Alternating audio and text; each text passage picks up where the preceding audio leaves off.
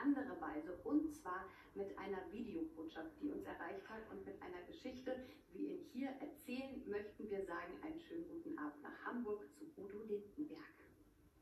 Ich trag dich durch die schweren Zeiten, so wie ein Schatten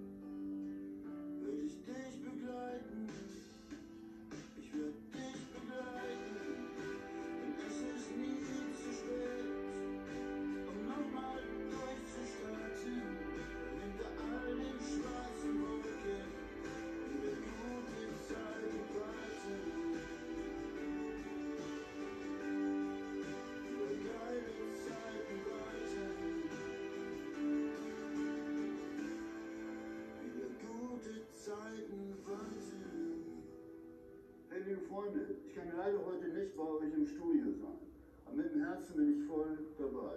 Ich habe letzte Nacht dieses Bild gemalt für die Versteigerung. Wir sitzen alle in einem Boot. Wir halten zusammen. Volle Solidarität. Wir müssen jetzt richtig durch, ordentlich Power machen. Leute, wir brauchen jetzt eure Hilfe. Jeder ist gefragt. Seid dabei, euer Udo. Das hier ist er, der echte Udo Lindenberg. Ich habe ihn angefasst. Was für ein Riesenteil. Ja, wie kommen Sie dran? Wir haben eine Versteigerung ins Leben gerufen und zwar über eine Seite, die sich genau darauf spezialisiert hat, unitedcharity.de. Und das heißt, ja, so wie Sie es von anderen Auktionshäusern kennen, sie geben, was sie können und hoffen, dass niemand mehr geben kann. Ja, so.